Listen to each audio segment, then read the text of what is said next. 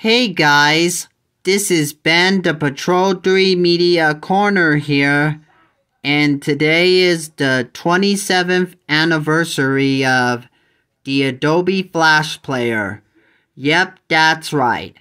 On this day in 1996, the Adobe Flash Player was released. And it looks like a really good computer software company. So happy 27th anniversary, the Adobe Flash Player. That's all I would like to say. This has been the Patrol 3 Media Corner here, signing off.